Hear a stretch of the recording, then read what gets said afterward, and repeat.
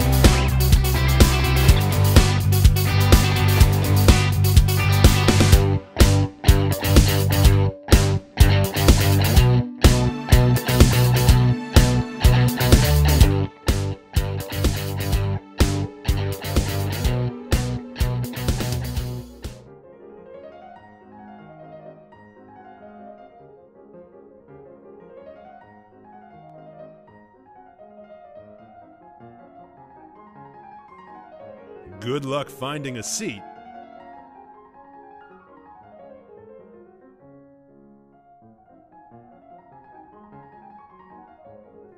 There's always an empty seat on the bus, if you're lucky.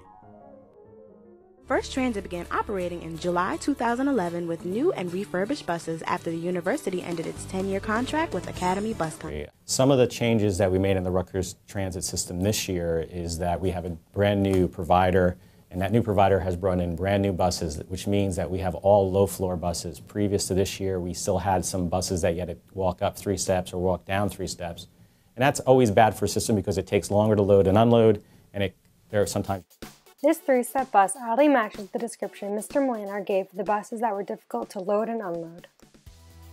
It don't seem much different, honestly, just besides the fact that they talk to you. The bus service prides itself on providing the public with safe and efficient transportation. Complaints of poor frequency and crowding continue to grow as the semester goes on. Due to the fact that some routes run more frequently than others makes them less crowded and causes students to believe those routes have more buses than others. Take for example the LX route, which runs between the College Avenue and Livingston campuses. Between the hours of 12 noon and 8 p.m., the LX arrives at each stop every 3 to 4 minutes. If Rutgers did this for all the routes, would it solve the problem of this? I think that there should just be more buses. There should be at least either the double buses that are have like that are longer, or we should do two buses at a time so that people aren't cramming on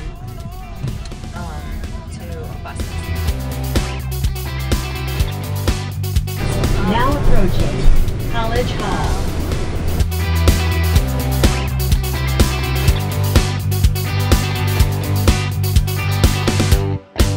Take, for example, these routes that are in between the Cook Douglas and College Avenue campuses. They come every 5 to 6 or every 9 minutes.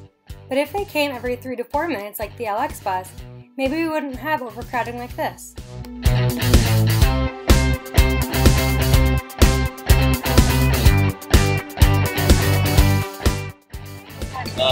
I know it's tight back there, but try to slide as far as you can go back there so everybody can fit in the bus.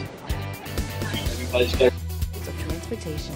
Well, I don't have anything I like about it. What I dislike is that they're always late. They never, well, yeah, they're always late. It's always really crowded.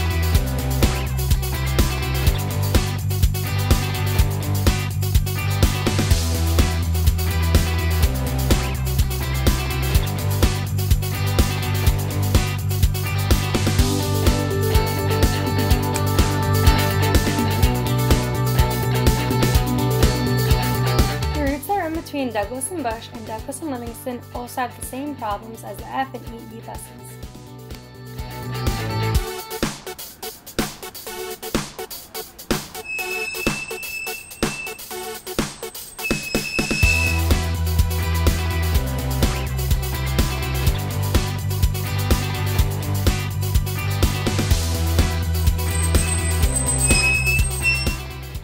Problem of overcrowding due to poor frequency.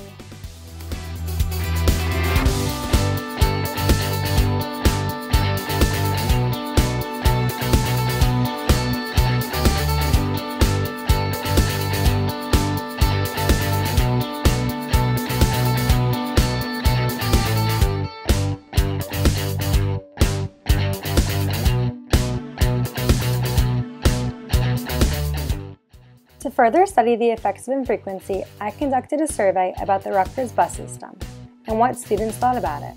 The total number of participants in this survey were 20 students. The first question I asked was, do you think there are enough buses?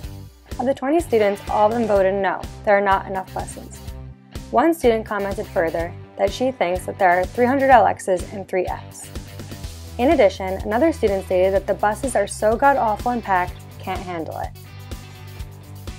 The second question I asked also had 20 student participants. The question was, were you ever left at a bus stop because the bus was overcrowded?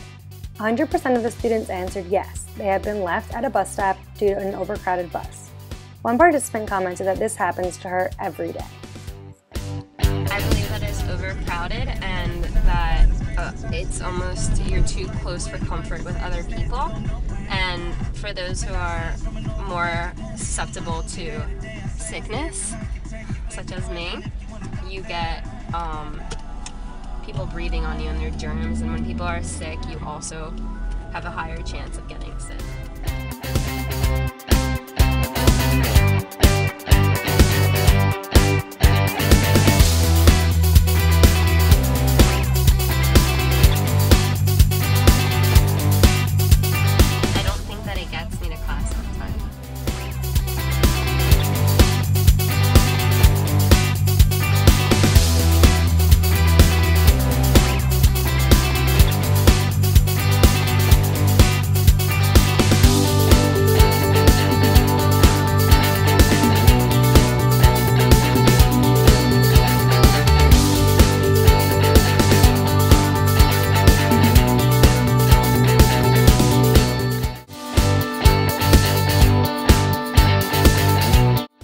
Bus service prides itself on providing the public with safe and efficient transportation.